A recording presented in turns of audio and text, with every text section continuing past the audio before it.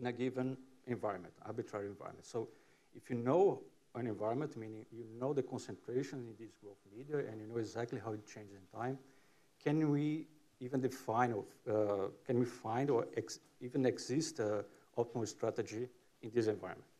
And the second question is, can microbes actually implement this kind of optimal strategy, or at least approximate that? Today, I want to completely focus only on the first question, right? So I'm not talking about the second one. So to start with, um, we have to define some things. We have to define what would be the specific growth rate, and it's just defined as the proportional change in the number of cells in a population. So we can define with this, uh, sorry, derivative here. And in the very specific and special conditions of or that we have a constant environment that we can achieve, for example, in a lab experiment, we can achieve a state of balanced growth, meaning that uh, all the concentrations and the growth rate itself of this population remains constant in time. So that's a very specific kind of scenario. And the specific growth rate in this particular kind of scenario can be a measure of fitness for this population. But in general, that's not what we have in, in nature, of course, right? So that the problem that you want to achieve, uh, address today is the dynamical growth, I meaning uh, if you have change environments, and so the concentration change in time and the growth, the specific growth rate change in time, um, uh, we can talk about the absolute fitness, meaning that's, I think, a term from population genetics, right? So it's just defined as the final uh, number of cells of a population after a period of time, t, divided by the initial one, so the proportional change in the population. So that uh, we can achieve that just by uh, taking the integral of this first equation, right? That's a simple uh, procedure. So you have this exponential that just to simplify things in the next slide, we are considering that our measure of fitness is just this, uh, the simple one in the bottom. It's just, uh, we don't take the exponential, but in essence, they are represent the same thing. So we, want, we are talking about dynamical systems um, and optimality, and just to make the point that these two things go hand in hand from the beginning, right? So as you may guess uh, from the title of this talk also, we take a great um, inspiration uh, from classical mechanics. So from many of you that comes from physics, that will be very familiar to you. So uh, almost for 300 years, so you have Euler, Lagrange, and others that developed this, this theory, basic theory in physics um, that have uh, optimality principles built in, right? So and just to, to, to put this in, in, a little perspective, we have this uh, nice plot, nice figure here that represents um, three kinds of hierarchical kind of problems that to, one can solve, right? So the simplest one is that we have a function and just plug in some values x. Um, yeah, okay, so you can see that the first one has some values x and the output is some other values. But um, more complicated problems, we don't know this function, right? The function itself is something we want to find. So in general, then we have differential equations, and the solution to the differential equations are these functions. So the input are boundary conditions and initial or initial values. But even uh, more fundamental than that, uh, many times we don't know these differential equations. And these differential equations uh, can be found themselves as a solution to another more fundamental kind of problem, that is formalized by the calculus of variation. That's something that uh, was developed by the same people that developed classical mechanics and very fundamental for mathematics and physics. And in this particular case, the inputs of, the problem are themselves the, some objective function and some constraints. So we are getting close to the scenario that we're looking for. So what they do in physics, for some of you that are familiar with that, in physics, they define what they call a functional, which just um, um, yes, something in physics is the action, that's just a name here, it's just the integral of something. That, and this function inside the integral is the Lagrange that defines the system of interest. And just important here is that the system is defined, you notice there's a vector q that defines the system state. The q dot is just the first uh, derivatives in time and time itself. So this, if you have some kind of problem like this, there's this calculus of variation, this mathematical machinery that you can use, and if you want to find the maximum point or the extremal point of this functional, we just have to solve what is known as the Euler-Lagrange equations. That's a very general thing. Okay, so we are close to what we want to define, the problem we want to define. And uh, to de really define this, the problem formally, we are going to use what we call this growth balance analysis, which is a general framework that we developed some years ago. And basically just a general or simplified framework for uh, to develop general cell models. And just taking heavy inspiration of what was already existing and just try to simplify that to the very minimum assumptions. So one thing is that we use mass units that's something that simplifies a lot the expressions and the, I think the understanding also. Um, and we call this, uh, we are interested in kind of what we can name uh, as holistic model in the sense that we model, we're interested in modeling the whole self-replicated system, basically very close to the sense that Molenaar and my colleagues introduced in 2009. It's a little bit different, but uh, essentially it's the same thing.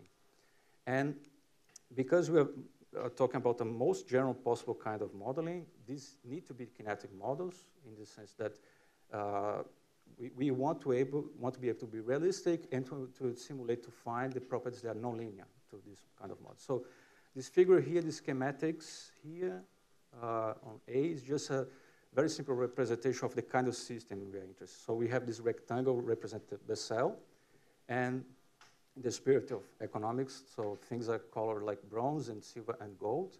So the bronze things are these uh, compounds in the environment, right, that are transported in and outside of the cell by this, maybe you cannot see very well, but the green uh, squares there. These are the transporters. Then you have um, blue squares that represent enzymes that are converting uh, these compounds in a network of chemical reactions.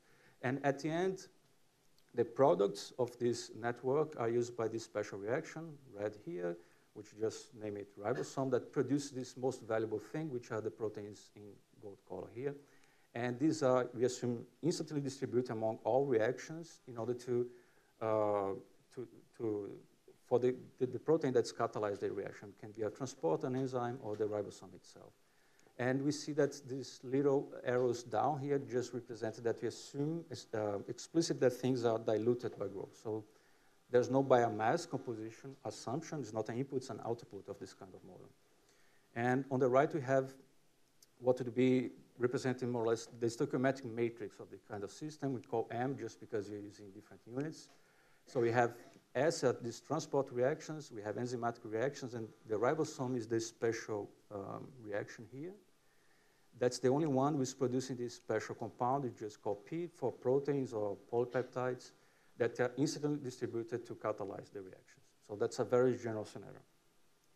So the system state is completely defined by uh, the, the vector C of reactant concentrations. It can be, uh, we can call these metabolites, but can be anything else uh, in the system, for example, RNA or DNA.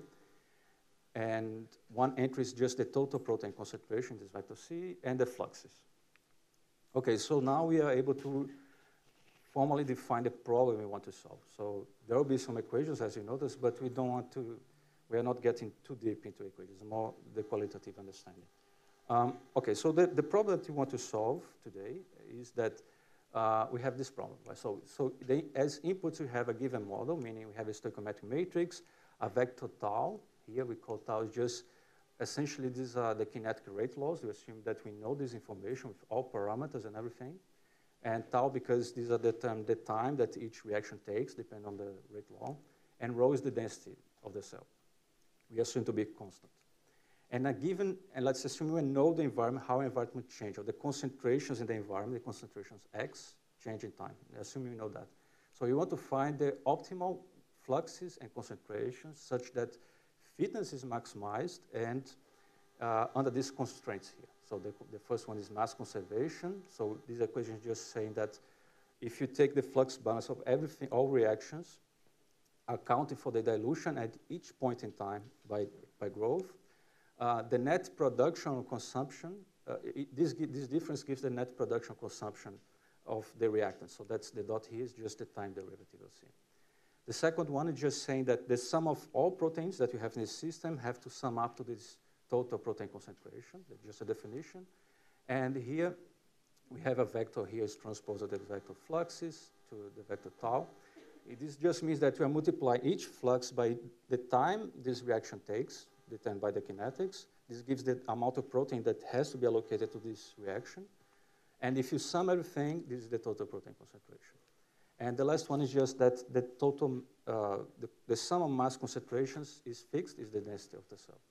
So we have showed uh, recently that if you assume balanced growth, so in other words, if the growth rate itself and the concentrations are constant in time, so basically uh, the difference that this is zero and this is just a fixed number, um, we can solve this problem, uh, or in the sense that we can find the exact analytical conditions necessary for optimal state.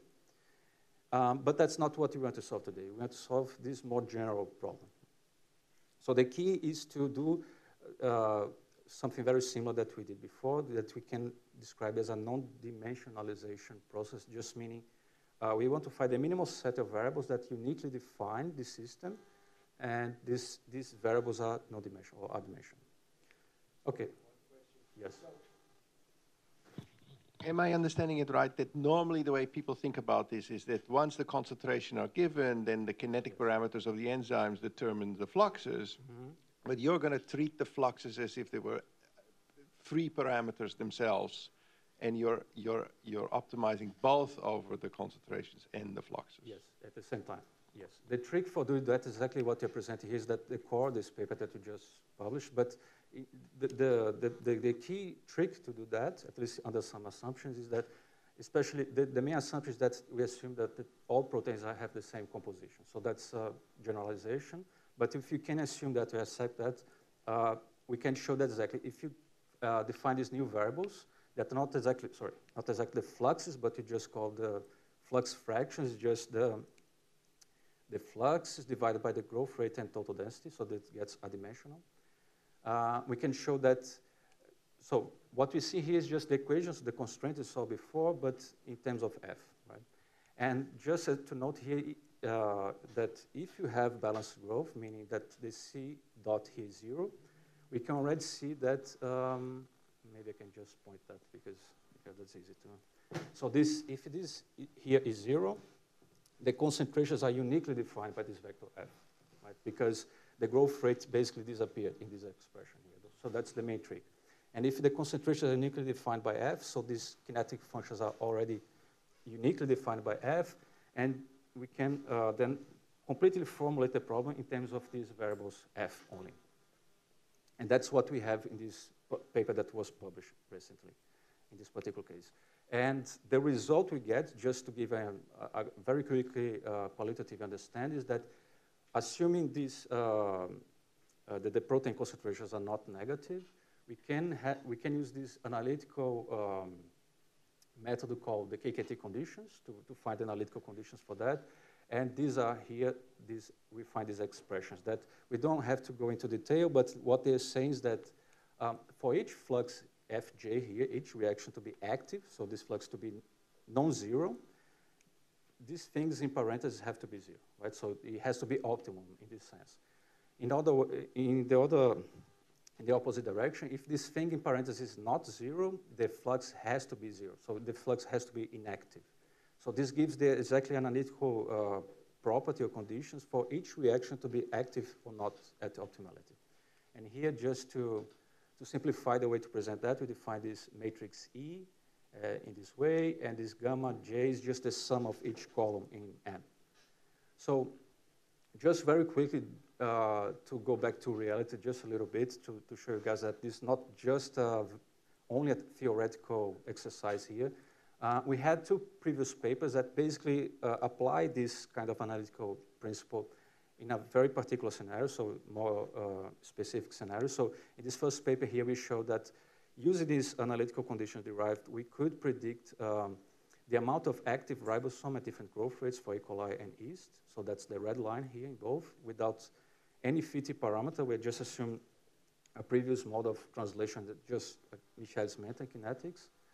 Uh, you see that it's very close to reality, right? And in this other paper, there's another simplification that one can make and show that uh, basically the message there is that enzyme substrates are all very close to a optimal balance that is related to this optimal condition I mentioned here. Yes? So in an earlier paper, we both showed that the, the optimal solutions are in these uh, minimal pathways. Right? Yes. You find this uh, back in these uh, equations in parentheses that, for example, the only solutions that you can get is when uh, Yes. only fj's are non-zero? That Yes, and uh, yeah, that's something, I don't want to have the time to get too much detail in the mathematics, but thank you for the question, yes. And I think, to me at least, I mean, I'm biased, but I think it's a very direct way to see that here is just, uh, because this is a, a matrix that depends on kinetics, and in order for the optimal state to, to not to be elementary flux mode or elementary growth mode, uh, there would be a necessary linear dependency between these things. And we can assume it's not, so essentially reproving, do the same kind of proof again, yes. Um, yeah, just to comment on that, that's exactly the kind of simplification we made in this previous paper here. So that, uh, more, that solution is more general in this sense. Okay, so but today we want to solve this more general problem. So um, just to give the, the meat of the derivation that you want to, to make, or the, the main trick that you, we need to make is that we can take this fluxes f that we can think of as fluxes in a funny unit that I can even later make the argument that I think those are very actually natural units to use. Um, we decompose. That the main thing is that we want to decompose these fluxes into other vectors, q and u, right? And this q uh, vector satisfy this equation is just saying that we can see these fl- as fluxes that each in each point in time they satisfy or they, they would be able to maintain balanced growth. So imagine that the, the cell is changing its composition, state in time, but at each slice of time, these Qs would be the, the fluxes that would be able to sustain this uh, balanced growth. But of course, uh, in this general um, setting is not, so they, this U vector here would be uh, the, exactly the correction for that because the, the concentrations are, are changed. And the trick here is that if you compare both equations, just take the time derivative of that, it's just a linear system of equation, we can show that this u vector is uniquely determined by the, the first derivative of q divided by growth rate. And the only as extra assumption here is exactly uh, this one that uh, we have a matrix that's full column rank, which means, sounds very esoteric, but a very practical meaning, which is we assume that our network, a metabolic network, has no alternative pathway. So if you can produce something, there's only one way to produce it. You cannot have alternatives. And there's still a limiting assumption here, but we still get very general uh, results. So if you assume this, uh, if you make these definitions, uh, just skipping a few steps of derivation, here we can show that we can condense all these constraints, all these equations had before, into two equations. One is one equation for the specific growth rate at each point in time, and you see that magically now all the problem depends on q dot, which is the first derivatives in time of q. The q itself and x is a uh, vector that's given as input in all functions of time. Um, for those of you who are familiar with classical mechanics, you see that the choice of q is also because it really resembles what would be the generalized coordinates for classical mechanics. So um, we can call generalized flux maybe here. So we have two equations. One equation is exactly determine the specific growth rate. And so if you go back to the very initial problem that you want to solve, so what we want to maximize is this, this integral of the specific growth rate that's uniquely determined by these uh, variables here. And the only constraint is the very simple linear constraint here.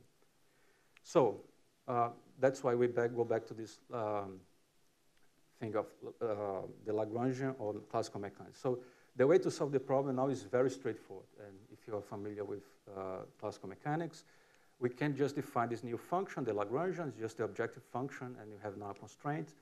And we want to maximize what we can call a functional.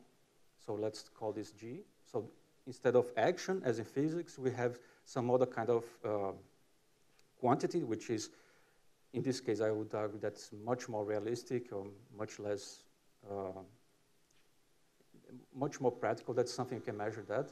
And that's the integral of this function here. So we just reformulate the whole problem in a, in a way that may seem very um, strange, but just because if you, because you formulate in this way, you can use now exactly what I mentioned before, is this Euler-Lagrange equations. So we know that the maximum, or if you have an optimal strategy, it has to satisfy these equations.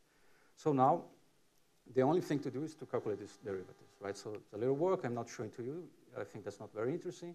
And if you do that, we find this um, system of differential equations, one for each reaction. So it's a very long, it seems very long equation that I would say we don't even have to care exactly what's there.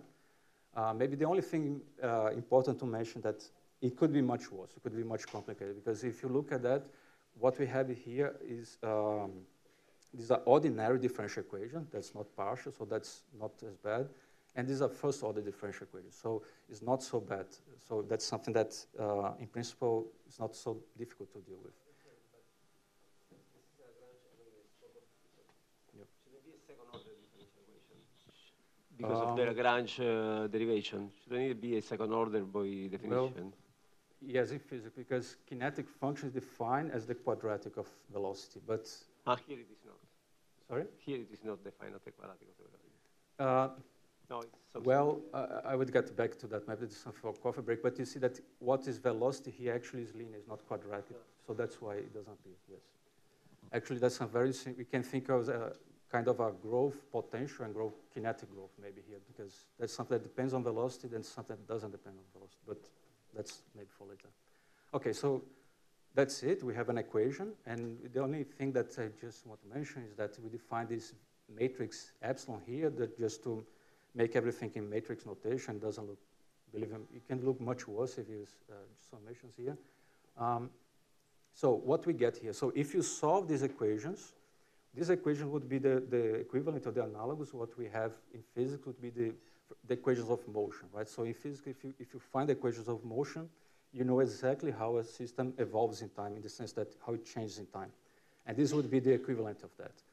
Um, so if you solve that, what you have is um, you find q, so with that you just take the derivative, find q dot, and following the previous equations, we find all the other variables that define the system state in each point in time. Yes. So I'm just trying to understand what's happening here, right? It seemed to me that in your stationary solution, you already had that stationary solution as a function of the inputs x, Yes. no? Yes, so now you say x is going to vary in time in some way. Yeah. Isn't the solution just again simply the solution as a function of eh, x at every time point, like almost like adiabatic sort of? Uh, it's not.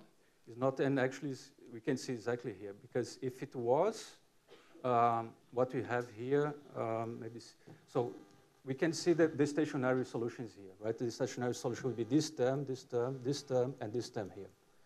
So this, the, all the other. Yeah, yeah, but I mean, I'm just saying that, yeah, for the first time, that's too much to see. But I'm just make the point that uh, it's different from, the equation is different from the original one. So the, there- there- there's still the stationary solution plus a correction because things are changing. So you're saying if the environment is changing, it's impossible for the system to stay on the optimum as x is changing. Well, I, I'll show something about that in the next slide. So there's Is- no yes or no answer to this, or Yeah, yes, it's possible, but unstable. so no. Maybe I can follow, just the next slide It will be about that. Um, okay, so at least in the- theoretically, what we did here. So we define formally a mathematical problem that the inputs are a given model, meaning the stoichiometric matrix in these different units, but stoichiometric matrix, the kinetics, you assume we know, and the density of the cell or the, the system, and we know this x how, and how they change time exactly, right? So we we assume we know this information. So we derived what would be the necessary conditions for any, if there is any optimal strategy in this environment, they have to satisfy these equations. And meaning they are optimal in the sense that they maximize this proportional growth under this constraints of mass conservation, kinetics, and cell density. So there was no um, extra assumption here in particular, but with the exception that the, the system has no alternative pathways. So today, at least, there's this um, extra assumption. So, okay, so just to answer the question about the relationship to stationary states, um, just to show you guys a very, very rough uh, numerical solution to, to show you what the solution would look like. I just consider this very simple model for reactions. So we have two transport reactions, and there's something like metabolism here. I mean, everything here is, just a toy model, right? There are labels, but they don't mean uh, anything real. And there's a ribosome that produces the protein. There's KMs here. They are KCATs forward and backwards, and there are this density here. And assume that the kinetics here, the kinetic rate laws are reversible Michaelis or Haldane rate laws. So there's a back and forth um, component. Okay, so to get to your point of the, the difference between stationary, the optimal balanced growth for stationary uh, steady state uh, solution and this dynamical solution. So the first thing I compared was exactly that. Uh, and uh, I just mentioned that to solve that numerically, um, something I started working on a few weeks ago. So the very rough solution is using, try to solve a problem that actually is a, is a what's called a, um, system of differential algebraic equations because the, the first order derivatives are not explicit, but they are implicit in the, the system of equations. So there's some algebra that can be done, and then I just apply the, use the Euler method, which is the simplest method to, to solve this kind of problem, which is particularly uh, not ideal for stiff problems, which that's apparently what we have here. But that's, the results I think are still meaningful. So the first example that I want to show is exactly this question of comparing what would be, or maybe a sanity check, right? So would that dynamical, optimal dynamical strategy uh, be better than just stay uh, in, in, a steady state optimal condition? And from the solution that we see here, the answer is yes. So what we have here is the specific growth rate uh, against time. So that's the, the, the, simulation. And the red line here is the, the, the, growth rate that you find at each point in time, the, the specific growth rate. And you see that we start at a point that maybe you cannot see, but the growth rate at first, we are starting at, at the, the, um, the state that would be optimal for this environment if you constrain ourselves to be steady state, right, if you don't change the concentration. So you see that for some time we stay there, but after some time, because of numerical uh, fluctuations, it's unstable, so we, we start doing something else that seems to be a, a kind of quasi-periodic behavior, right, so it seems like. And these two lines here are just to answer exactly this question, that the, the dashed, black dashed line is um, is what would be the equivalent growth rate if you take the average here of this uh, dynamical uh, behavior. And the red dashed line is what would be the growth rate if you should just stay as a stationary condition. And you see that there's an improvement here. So even if the environment is fixed, there's a self-imposed self-oscillation behavior that seems to be optimal for the cell. So just to finish, uh, just a second thing is that, of course, then I compared uh, one example here just with the, some dynamical environment and in a very general sense, I just put some cosine here for one of the sorry, external concentrations. And what we see is just a different solution. It's a very small uh, window of time. So we just want to show as an illustration what would happen. But um, yeah, that's just a very rough simulation. So just to wrap up this, um, what I had in these simulations, from this very preliminary numerical exploration of different models, what we have that even in fixed environments, the optimal balanced growth states are unstable fixed points, so that's what I mentioned before. Uh, there's often a self-oscillatory behavior that emerges naturally, even in these constant environments. And one thing that's very important is that we need to use reversible rate laws to get more stable solutions. That's something that uh, seems to be very important. And just summarize that, we what we have here is actually a formal tool, a mathematical tool, to study or to make sense or to rationalize what I think we have discussed, especially last week, is that the maximal growth rate of an organism in an environment is not always a good measure of its fitness, right? And with this kind of framework, we have the formal way to study what we, uh, to study what what fitness actually is, which is this here, this G here, this measure of the proportional growth in time. So with that, I'd just like to conclude. Um, we have these exact analytical conditions for this mathematical problem, defining what would be this, the absolute optimal strategy, growth strategy, strategy in time. And these conditions can be seen as fundamental principles, right, as we are interested in that. And the next question I think many of you are thinking is that, okay, that's all nice and cool, but how close are that to reality? And uh, do microbes implement that to any extent? And that's what we are trying to do next. We are using uh, more realistic models and more realistic numerical solvers to compare that to actual data.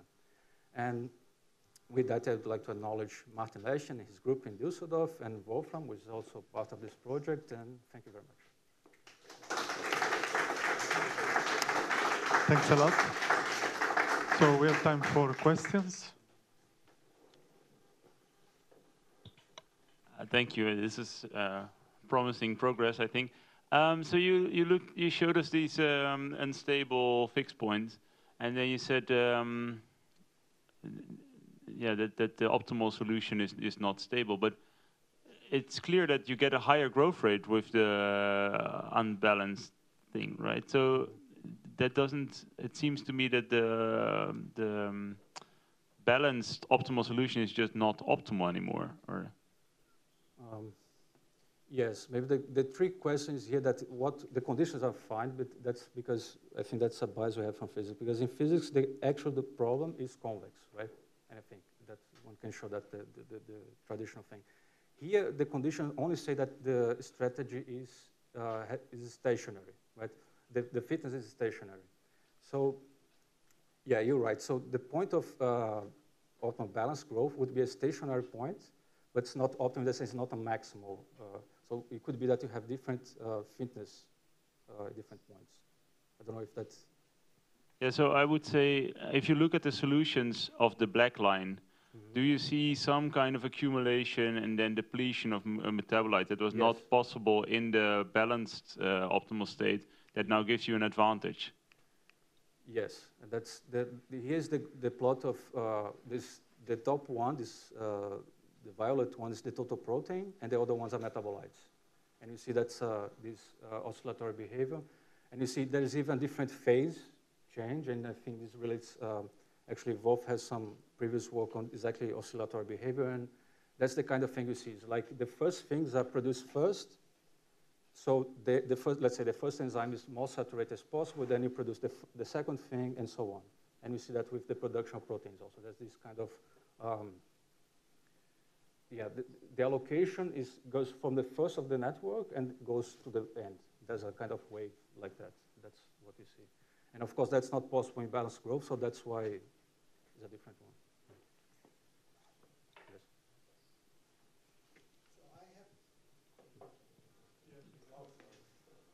Yeah, I, was just wondering, it was something very close to the question that was made, and because the the Euler-Lagrangian uh, formalism is, it's always extremizing your functional. Oh, actually, it's never giving you. You can. There are some conditions, there are some theorems that are gonna tell you if it's just a maximum or a minimum. But I was just wondering if there is some like heuristic argument or something simple just for us to see if it's really a maximum in your fitness or Okay, that's a very important question. The, the short answer is no. so not yet. That's uh, so to be clear. What I showed, the equations I showed are necessary conditions, but they're not sufficient, right, for optimality. Um, but that's a very important question that needs to be answered. We are working on that also. Yes. Okay, so maybe you can help me gain some intuition. So this just plugging x as a functional time in your previous stationary optimum, that does worse or better than what you get here? well, I, didn't I'm compare, but it has to be worse, right? If, uh, if this is correct. Uh, and the reason is that, um, okay, maybe at least to me, the intuition is that if you change things in time, there's maybe, I don't know, to me that's too abstract, but there's a notion of inertia, right? That's something that a cost of changing your state in time. So if you just follow uh, what would be the optimal balance growth for each point in time for the environment, uh, it's not accounting that you're trying to go from A to B in an optimal way. You're just following uh, a trajectory that maybe is not And that's optimal. because in the previous equation, you had the extra constraint that the sort of time derivative of all the concentrations has to vanish because it's balanced, and now they're not vanishing, or? Exactly, yes. Okay. Any other question? Okay, let's thank.